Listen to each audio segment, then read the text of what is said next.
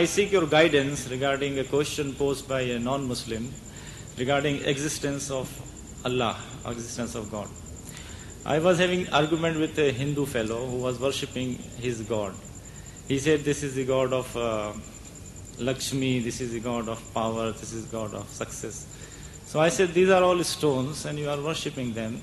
Why don't you become Muslim and uh, worship the Allah? He said that uh, if you prove to me that Allah exists, then I will become Muslim. I told him that he has, God has created you, God has created me, He has created the entire world, the mountains, the sky, the earth, the sun, the moon. And so God is there. He said these are all the indirect evidences of existence of God. He said if you give me some direct evidence of existence of God, then I will be, become Muslim. I told him that okay, if you don't, you are not convinced with this, then you tell me what is the direct ev- evidence of God, existence of God. Then he said, I don't have. That's why I am worshipping these gods, so many gods. So I seek your guidance in this connection. What should I tell him now? You see, it depends upon the capacity of the individual. Everyone, you haven't got a pet set line of arguments, debates. The person, what are his capacities, understanding? With regards to the existence of God, the very simplest of thing is, he says God exists because we exist.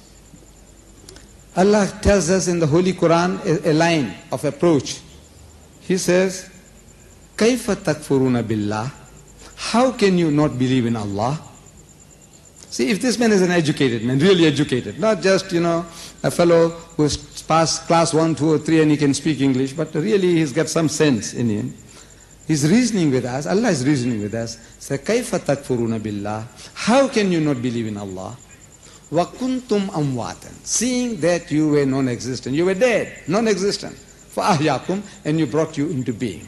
ثُمَّ يُمِيتُكُمْ And He will cause you to die. ثُمَّ يُحْيِيكُمْ And He will bring you back to life again. ثُمَّ إِلَيْهِ تُرْجَعُونَ And to Him will be your return.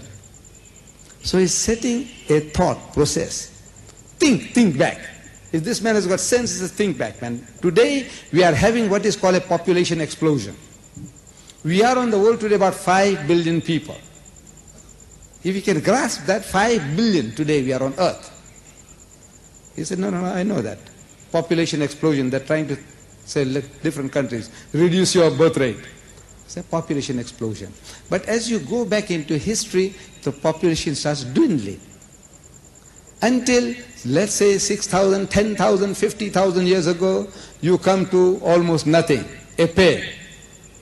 And even before that, according to your understanding, who, if you have got some education, is talking about uh, evolution taking place.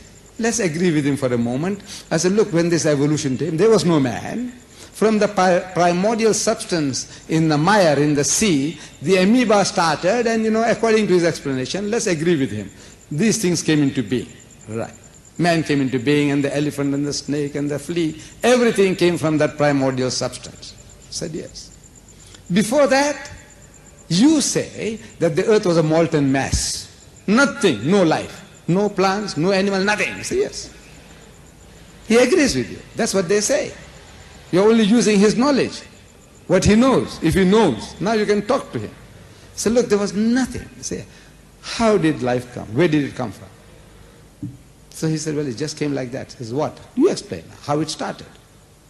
A group of amoeba, protoplasm, they thought for themselves that now we will collate and break up and collate and eventually we'll make ourselves into an elephant. Huh? Is that what they did? This another group said, I will make myself into a gorilla. Another one said, I'll make myself into a monkey. Another one said, I'll make myself into a chimpanzee. Another one said, I'll make myself into a donkey. Another one said, I'll make myself into a pig. Come on, come on, tell me now. They thought out all these things. This amoeba, which got no brains, it had the brains, now created this man. He said, must have eyebrows. You know, so look at your eyes, how it is protected. How many times you had blue eyes and your eye was not damaged because of this construction. Then each and everything is a miracle. Man is a miracle. But we are so close to ourselves with that we don't see it. Ask the doctor, the biologist, the physiologist, and man, you start speaking about the heart, the lungs, the kidneys, each and every, their fingernails. You know, your teeth. You know, when you go to the dentist and you go and see the diagrams of the teeth, the teeth, what it consists of. Shh. Each and everything is a miracle. You thought it out? That amoeba thought it out? He said, yes. He said, look, you are the most superstitious guy on earth. Any little thing you see, you say somebody made it. This little pin, I have a pin. Yeah. This one has a big head. I think, I don't know whether you can see it from there. I said, you know, it came by itself. He said, no, the guy's mad. Somebody made it.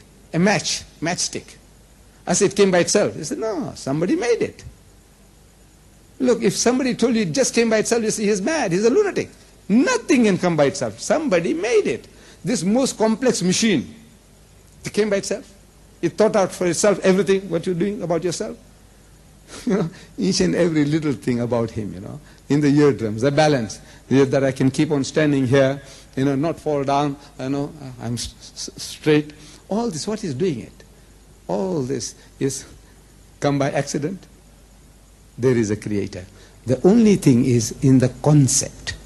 You see, he's worshipping men and monkeys, elephants and snakes, and he wants to justify that. See, it's the concept.